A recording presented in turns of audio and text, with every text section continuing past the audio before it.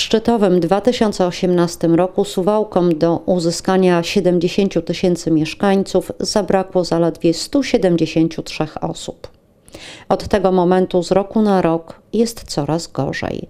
W ciągu czterech lat miejska populacja skurczyła się o 1300 osób.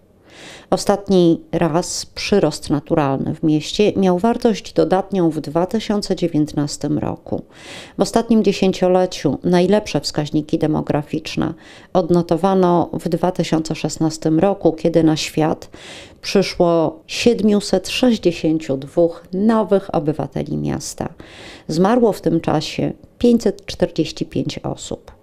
Liczebność mieszkańców Suwałk wzrosła o niemal 220. Ostatnim rokiem z dodatnim wskaźnikiem przyrostu naturalnego był 2019. W 2020 roku zmarły o 42 osoby więcej niż ci, którzy przyszli na świat.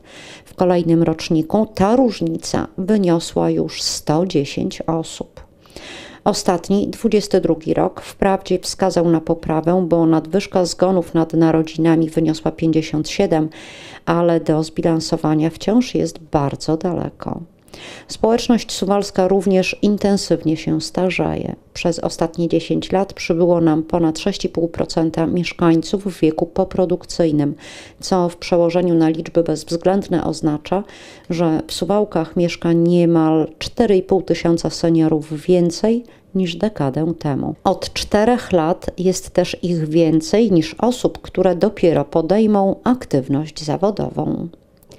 Na sytuację demograficzną miasta ma wpływ również migracja ludności. W ostatniej dekadzie były tylko dwa roczniki 17 i 18, kiedy w Suwałkach osiedliło się więcej osób niż je opuściło.